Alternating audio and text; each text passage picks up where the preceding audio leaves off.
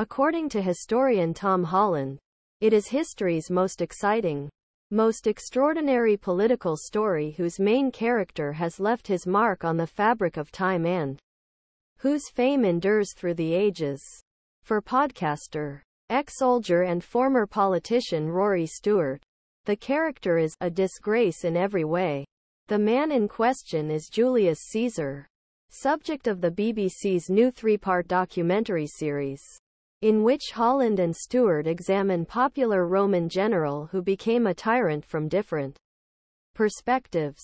Holland admires Caesar as a colossal figure.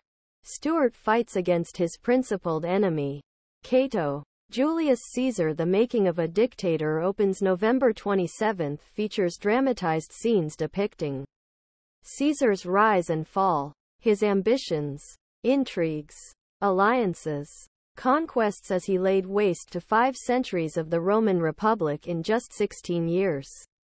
This is how some of those closest to Caesar tried to stop the march towards tyranny.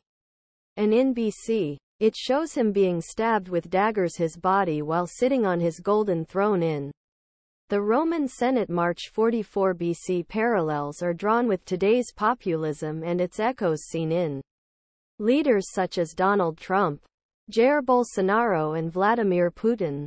Holland said Caesar exists in our imaginations either as an example to be imitated or as a warning from history. Alexander Leith executive producer of series, said that three-hour docudrama format allows nuances of characters to be revealed and allows audience to engage with story as directly as possible.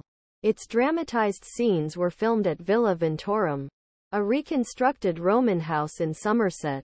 Archaeologists, conservators skilled craftsmen spent seven years excavating and recreating the villa its gardens using pieces of original material found at the site.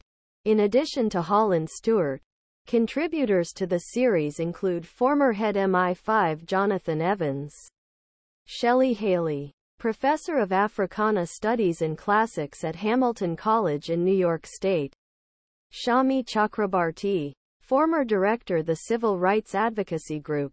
According to Stewart, the conclusion glosses over Caesar's deep flaws. I think Caesar is a terrible figure.